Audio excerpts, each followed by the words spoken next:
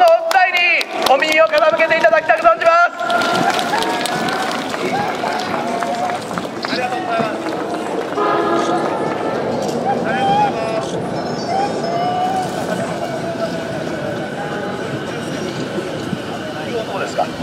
やすい。ません本当にお寒い。中これだけ多くの皆さんにお集まりい。ただきましてありがとうござい。ます日本維新の会代表代行の橋本徹です改めましてありがとうござい。ます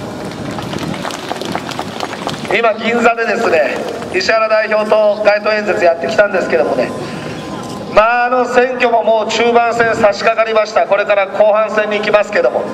東京の皆さんこのまんまの政治でいいんですかね？僕は報道を見てびっくりしましたけども全国民の皆さんがもう一度3年前のあの自民党政治に戻そうとしている。もうそういうね多くの国民の皆さんの意思が今そっちの方向に流れていってます。皆さん3年前多くの国民の皆さんはどのような判断をされたんでしょうか。当時の自民党政権に愛想を尽かし嫌気がさし不満感が絶頂に達不満感が絶頂に達しそれでね皆さんは多くの皆さんは、まあ、この中に自民党支持者もいるのかも分かりませんがそれでも一気にね日本国民の皆さんは民主党政権にバッとこう流れて一度自民党から離れた政治をやろうということに皆さんが意思表示をされたわけです。そしてこの3年間確かに民主党の政治はひどかった。本当に国民の皆さんの気持ちを汲んだ政治にはならなかったんですけども。だからといってたった3年しか経ってないのにもう一度自民党のあの政治に戻すんでしょうかね。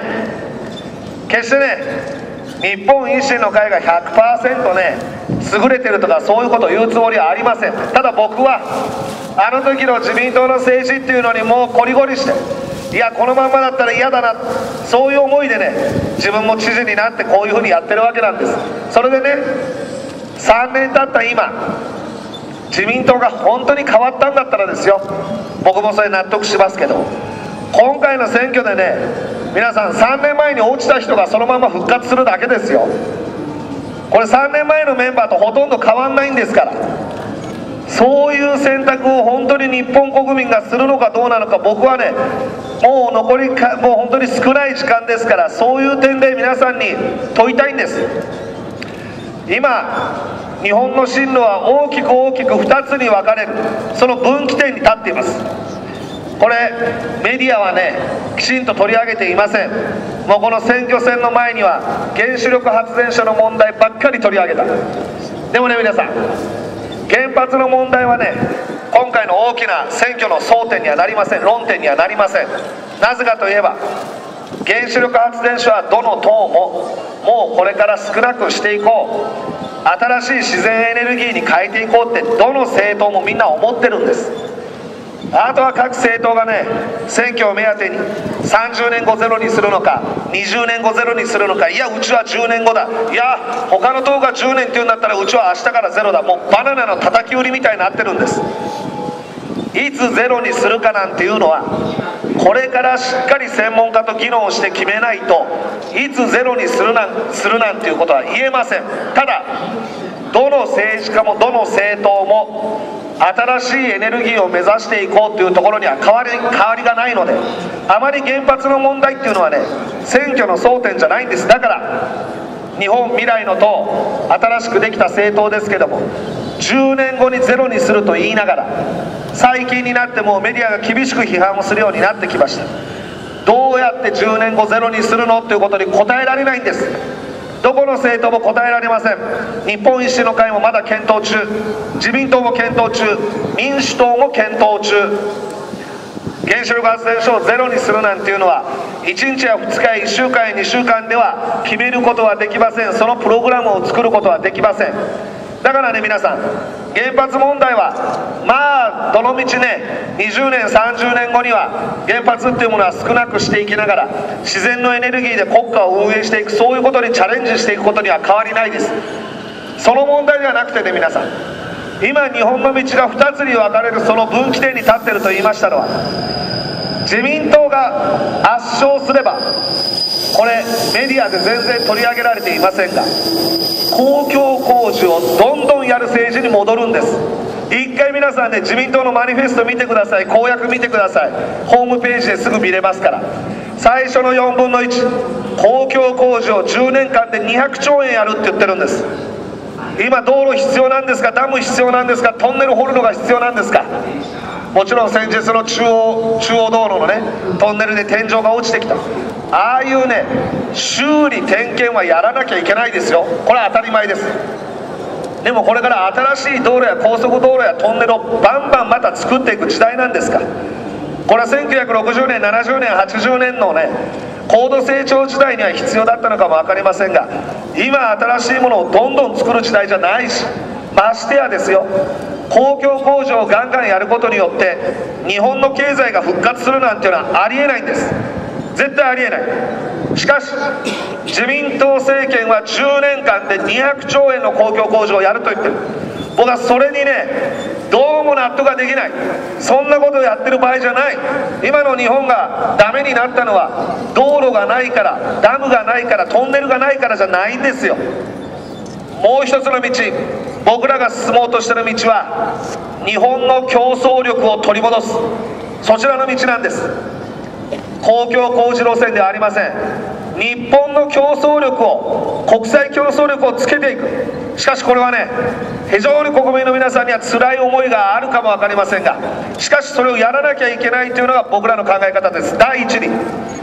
まずね今の日本の若者お兄さんお姉さんも今日たくさん秋葉原だからたくさんいらっしゃいますけどもね。英語喋れますかね？僕は中学高校大学10年間日本の英語教育受けてきましたけども喋れる言葉って言ったら good morning ぐらいですよ。どうしようもない英語教育です日本の英語教育は。今ね英語がしゃべれない英語をしゃべることのできないアジア人なんて言ったら日本人ぐらいですよ。中国人も韓国人もベトナム人もタイ人もシンガポール人は当たり前ですけどみんな英語喋ってるんです。僕もこういう立場ですから国際会議何とか呼ばれました。よく行きましたよ。その時にね中国人も韓国人もベトナム人もタイ人もみんな会議の合間昼食取りながらみんなわわわわ喋ってるんですよ。僕だけです。通訳ついてんのは。で彼らね喋りながらねゲラゲラゲラゲラ笑ってるんですよ。僕は通訳返して1分後にゲラゲラゲラゲラ笑い出す。こんなことやっててね日本が国際社会に通用するようなそんな日本になりますかね。今日本の若者大学生の就職内定率先日の報道でありましたけども63%就職氷河期だと言われていますけど日本の若者大学生就職先としてね日本の企業しか掲げていないんです。対象に置いてないんです。そんなもん今の時代ね日本の企業だけを就職先なんかやってたらそれは就職できる範囲は狭まりますよ。韓国人も中国人も自国の企業だけにとらわれない。アメリカの企業であろうが日本の企業であろうがヨーロッパの企業だろうが一番国際社会の中で活躍できる企業を選んでいく。その時に重要なのは英語力ですよね。日本の若者英語喋れない。だから日本国の企業しか行けない。日本の企業しか行けない。だからどんどんパイが狭くなって就職率が落ちていく。何やってるんですか日本は。僕はね自分が英語喋れないから。少なくとも子供の世代。いや少なくとも孫たちの世代にはねやっぱり高校卒業する時には日常会話英語でやらせる。それをね政治の意思で決めたらこんなのできるんですやろうと思ったら。当たり前ですよ。語学なんていうのは能力関係ありません。勉強できるできない関係ないんです。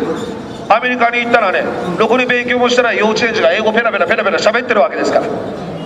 英語なんていうのはね金かけてやるって決めたらできるんですね。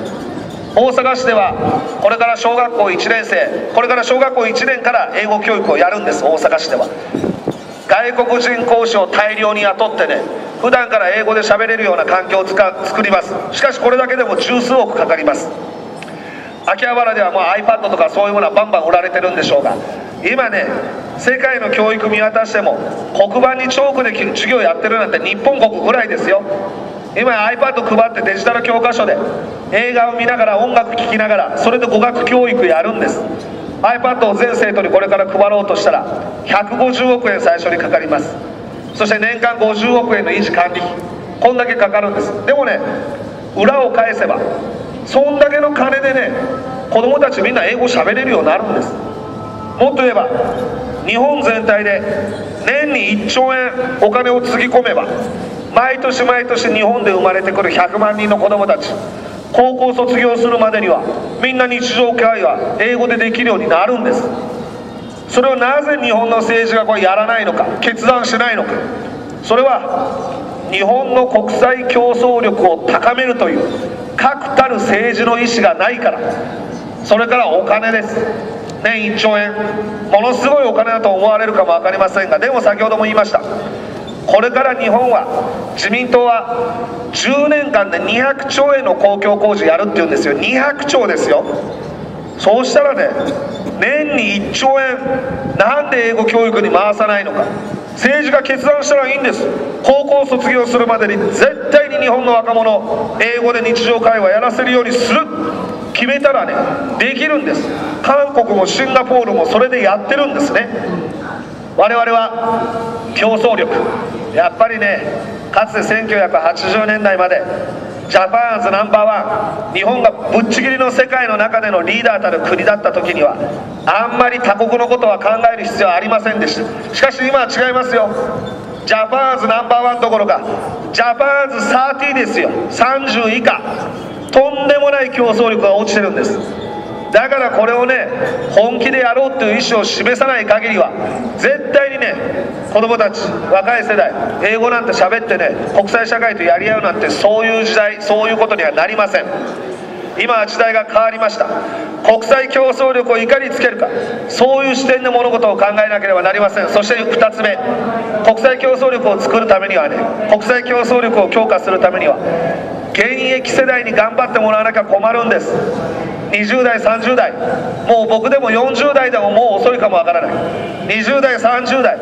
がむしゃらに頑張ってもらわなきゃいけない。そこにね税金をもっと回さないとダメなんです。日本の教育投資。さっきの英語の話も言いましたけど。日本が教育にお金を使う割合は先進国の中でも最低です。それから若者にお金を使うこの予算の配分の仕方。先進国の中では最低ですよ。他のね各国見たらね大学生やら就職最初にやった若者たちもっとお金を投入してね海外に行ってもらうとか留学制度作ったりとかいろんなことやってます。日本社会はどこにお金を一番使ってるか。高齢者世代です。医療介護年金社会保障。ここにほとんどのお金が使われてるんです。僕はね高齢者切り捨てなんていうことは考えていませんけれど。しかしやっぱり日本元気にするためには20代30代40代現役世代に頑張ってもらわないと。現役世代がバリバリ頑張ってね機関車のように日本を引っ張ってもらわないと。日本なんか元気になりません。高度成長時代。我が日本国をここまで引き上げてくださった諸先輩方も当時は20代30代40代でねがむしゃらになって日本をここまで引き上げてくれた。やっぱり現役世代なんですよ。そして現役世代が活力を取り戻してね日本を元気にしてそのことによってまた社会保障で高齢者に利益を還元する。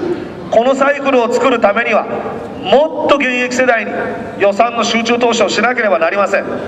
そのためには社会保障をやっぱり見直さなきゃいけない。選挙の前になるとね政治家は絶対にこれは言えません。なぜか票がなければ僕らは通らないからです。票をもらえるところに配慮するのが政治なんです。高齢者が一番票になるんです。だから社会保障については高齢者にどんどんお金をつぎ込むようなそういう政治になってきました。皆さん消費税5%上がるんですよ。5%僕はねゆくゆくは皆さんにご負担を求めなければならないと思ってますが消費税5%上げたところでね社会保障なんか賄えませんよ。社会保障医療年金介護は毎年毎年今3兆円ずつ費用が増えてってるんです。とんでもないスピードで増えてってます。超少子高齢化の我が日本国年に3兆円ずつ費用が増えてってる。20年前は47兆円の医療介護費用の費用が医療介護年金の費用がね今や100兆を超えてさらに20年後には200兆を超えると言われています。日本の予算は80兆税収は40兆200兆も医療介護年金の費用がこれかかって誰が負担するんですか。これやらなきゃいけないのはただ一つですよ。年金。年金をもらうその年齢支給開始年齢これをやっぱり見直さなきゃいけません。今もらってる人の年金をすぐにいじるってことではないですよ。僕らの世代もうこれでまた40代の票を失うかも分かりませんが僕らの世代がね65歳から年金もらうなんていうのはそれはダメですよもう。だって年金ができた1961年これ国民皆年金ができたのは1961年ですが今から50年前その当時は平均寿命は今よりも15歳短かったんです。我が日本国民は今よりも15年早死に死んでたんです。男性だと65歳が平均寿命女性だと70歳が平均寿命だった。ところが今50年経ったら日本の医療技術は発達してねやっぱり日本はすごい住みやすいんでしょうね。女性は85歳まで生きる。男性は80歳まで生きる。要は50年前に比べてね15年も長生きするような日本社会になったんです。これはいいことですよ。長寿大国日本はいいことです。ところが年金は50年前からあんまり変わってないんです。それじゃどういうことになるか。昔はねやっぱり年金もらう前に死んじゃった人もいたんですよ。しかし今やね日本国民のほとんどが全員が年金をずっともらうような社会になってしまった。こんなの支えられるわけないんです。誰が負担してるのか。次の若者もっと言えばこれから生まれてくる若者そういう人たちが全部社会保障を負担する。税金を全部そこに充てる。だから教育のお金が回らない。先進国の中でも最低の教育費。先進国の中でも最低の若者への予算。こんな日本の予算をやってたらね日本が成長するわけないです。ですからね今すぐ変えるとか今すぐ年金をなくすとかいうことではないですけど40代少なくとも僕ら以降の世代はねやっぱり平均寿命のところぐらいまでは自分でなんとか働いて頑張るっていうぐらいのことをやらないとねそれは全部若い世代に月を回すことになります。そんなことやったら自分はいいかもわからないけども日本が沈むのはもう間違いありません。社会保障の立て直し消費税の5%なんかでは絶対に持ちません。今のまんまでやってたら消費税は30%まで上げなきゃいけないとも言われています。誰が消費税30%なんか払うんですか？やっぱりね一から社会保障というものを立て直す。高齢者の票やね僕らの世代の票社会保障はそれはどんどん手厚くしてくれるのがいいってみんな考えますけどそんな甘いことは言ってられませんし僕らも言うつもりはありません。それが我々の考え方の第2の点です。そして第3の点。国際競争力をつける。まあ英語とかね教育とか社会保障の立て直しで若者にもっとお金を回そうということのほかにやっぱり切磋琢磨既得権を打ち破る既得権の打破ですよ。皆さんあの日本維新の会。これお金のない政党ですからね。自民党や民主党はバカみたいに政党交付金もらってるんです。皆さんの税金で。民主党で200億円。自民党で150億円。合わせて350億円の政党交付金で今どんどんテレビ CM やってますよ。新聞広告売ってます。あれ全部皆さんの税金なんです。あんなのやるためにあんなの政党にやらせるために皆さん税金払ってるんですが350億円テレビ CM と新聞広告にお金消えてってるんですよ政党のあのくだらない広告で。我々はお金がないもんですからね。仕方がないから僕のせこいツイッターでパチパチパチパチやってますよ。あれが唯一のね僕の政治的な主張を発信する手段ですけど。秋葉原にね来られてる皆さんね選挙運動なんでインターネットでやったらダメなんですか？インターネットが一番金かからないんですよ。今これ選挙が始まってインターネット全部止まってしまってます。候補者はね公職選挙法に抵触する恐れがあるっていうことでみんな皆さんインターネット見てください。立候補者1500人もいるのに今衆議院の候補者1500人もいるのにみんなインターネット止めちゃったやってるのは僕だけはツイッターやってるんです。馬鹿げた国ですよ本当に。もしねいや本当そうですよ。インターネットあればね皆さんどんどん政治家に直接文句言えるしねどんどん政治家に直接ねあのこれあのコミュニケーション取ることができるんです。僕もツイッターやっててねあれツイッターで僕ブロックっていうの知らなかったんですけどまああえてやってないですけどねすざまじい文句きますよ。でカチンと頭にくるから僕返すんです。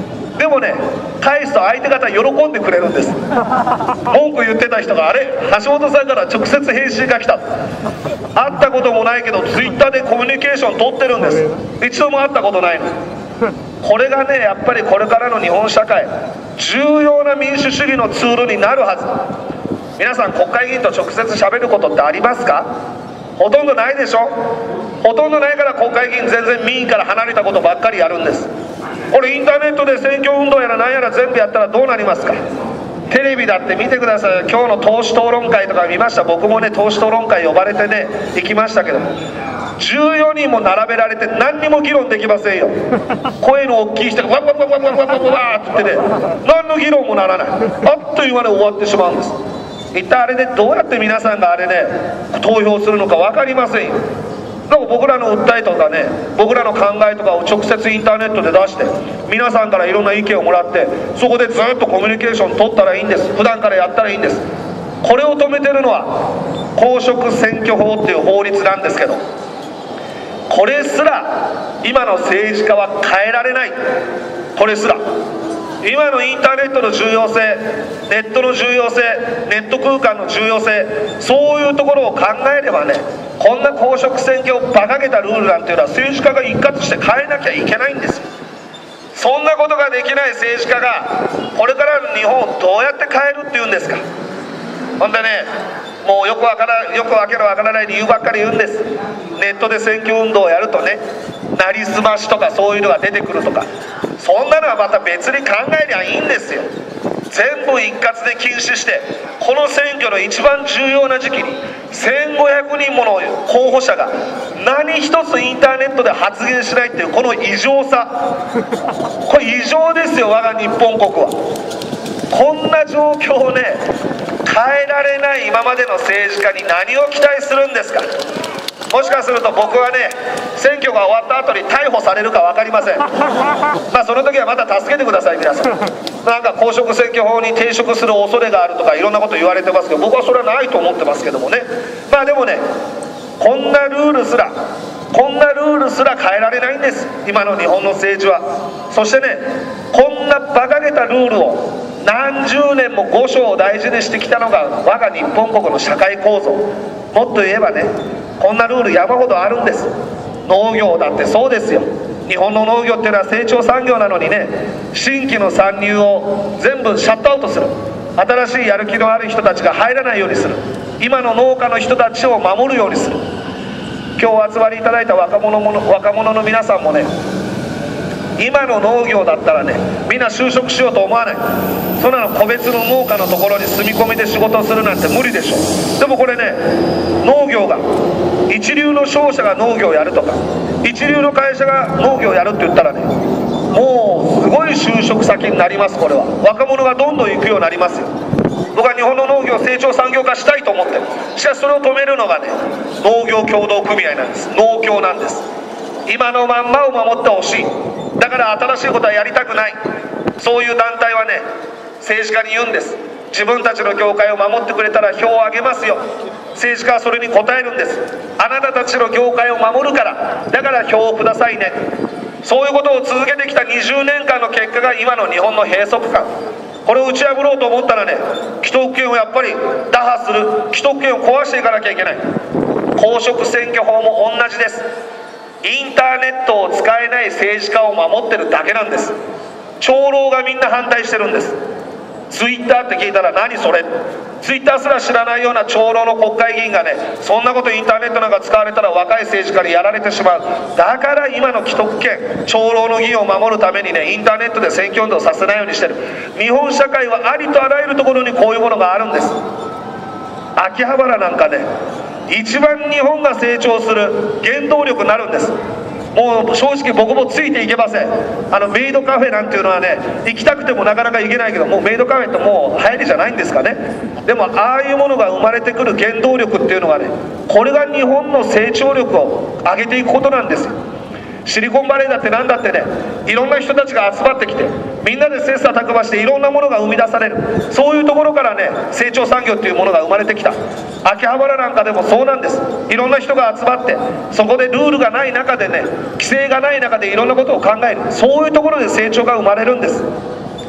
日本は不景気不景気だって言われますけどもね。本当に不景気なんですか？秋葉原で商品むちゃくちゃ売れてるじゃないですか。iPhone だってね。僕はいまだに iPhone4 を使ってますよ。iPhone4 でもねまだ喋れるしメール打てる。でも iPhone5 が出たらみんなそっちに切り替える。お金がかかるのにみんなそっちに切り替えるんです。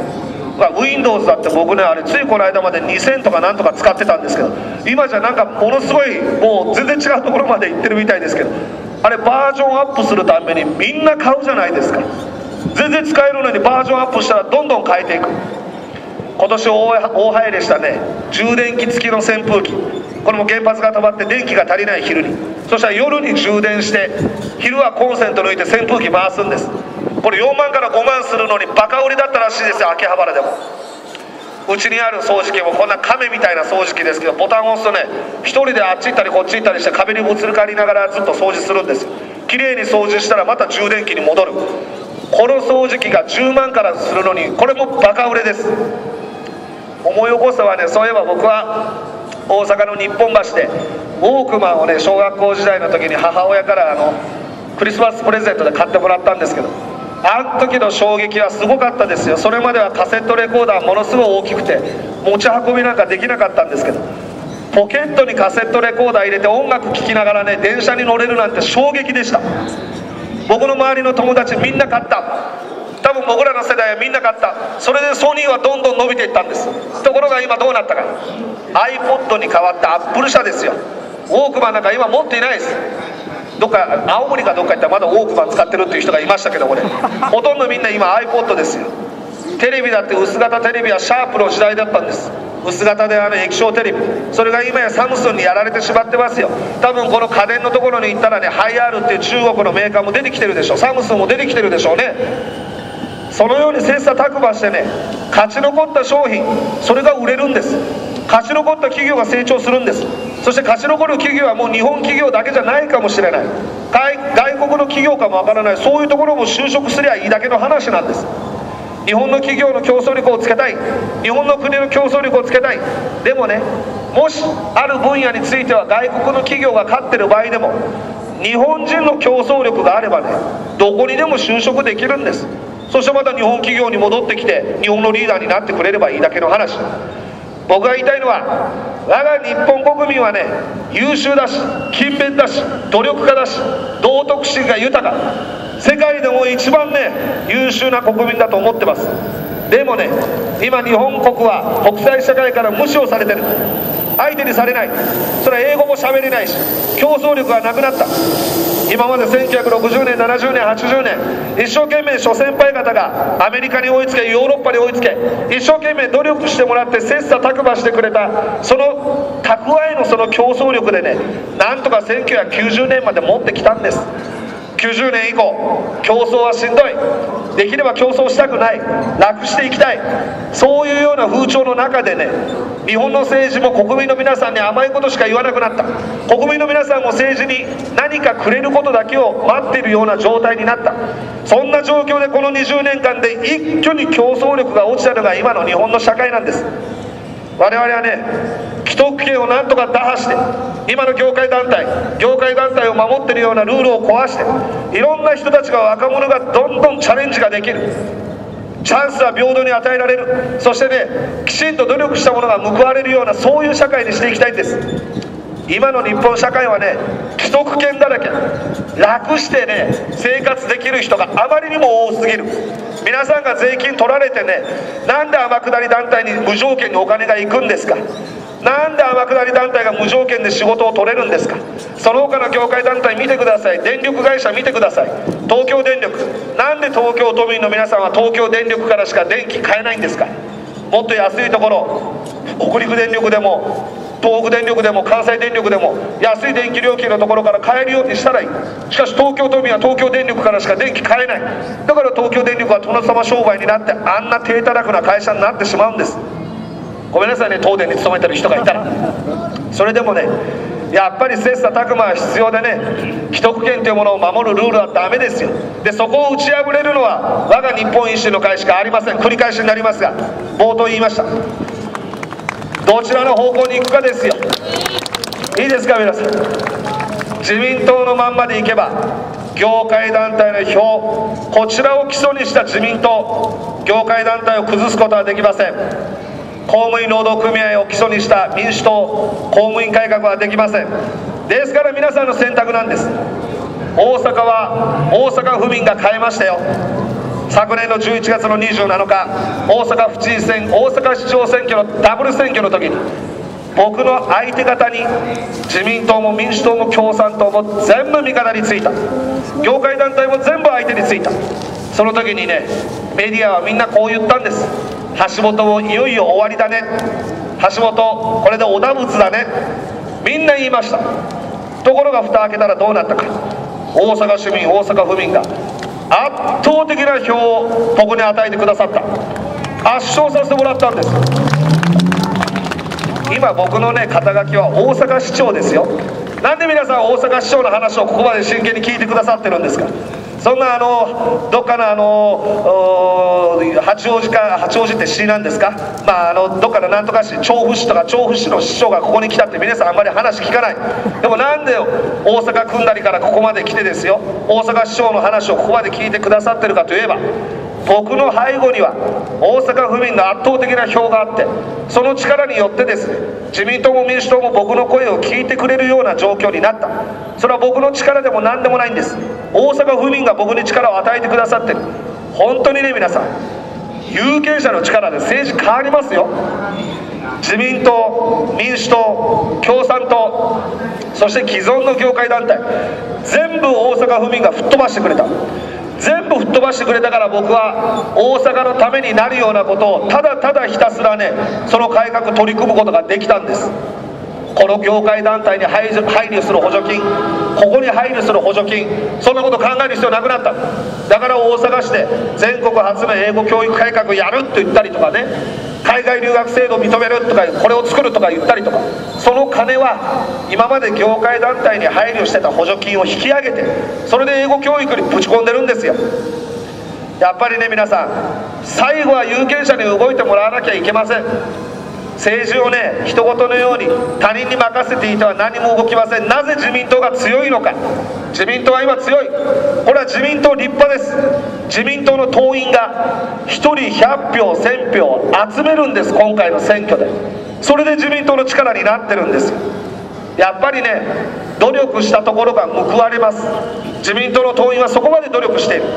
にもかかわらず自民党の政治が嫌だとか民主党の政治が嫌だとか不満を言う人は多いんですけども不満を言う人に限って努力はされていない。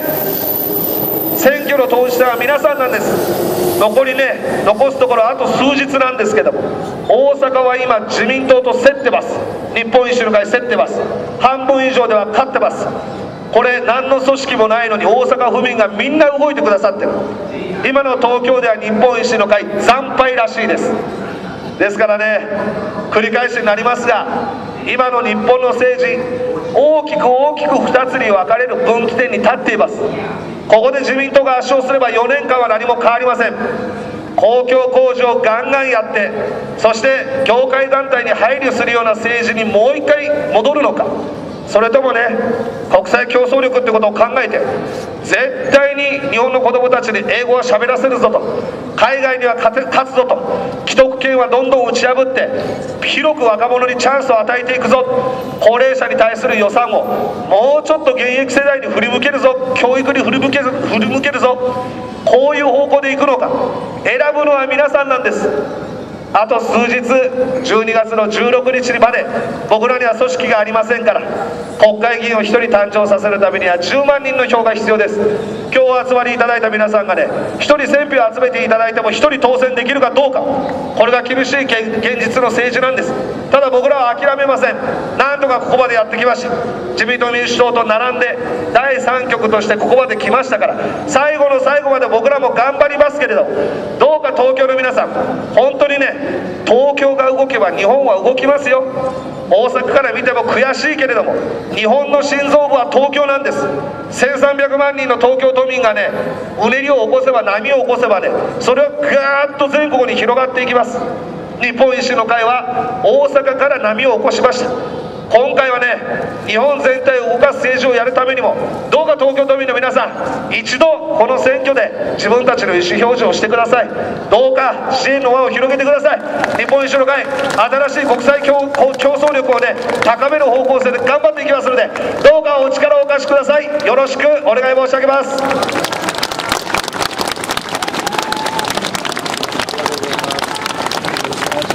日本維新の会代表代行橋本徹からのお伝えでございました。本当に寒い中こんなにたくさんの方々足を止めていただいてありがとうございます。選挙戦もいよいよ中盤戦これから後半戦でございますが最後の最後まで日本維新の会戦ってまいりますので皆様方のお力を日本維新の会にお集めいただけますようよろしくお願い申し上げまして本日この場をお借りいたしましての街頭演説会を終わらせていただきます。誠にありがとうございました。本当に寒い中ありがとうございました。この後丸の内静岡浜松さんありがとうございます。えー、明日明後日ぐらいに沖縄も行ってきますし、まあ、とにかく全国回ってね新しい方向を目指しましょうよってことを訴えかけていきたいと思います。もう年上の人たち古い政治をやる人はもうそれでいいんですけど一度若い人たちで意思表示してください。今回負けてもね日本維新の会にある程度票が集まったということになれば自民党も民主党もまたこっち振り向きますからね。どうしても若い人たち本当に現役世代自分たちの票でね日本を変えるんだということでこの12月16日までどうかお力をねお貸しくださいね。本当によろしくお願いします。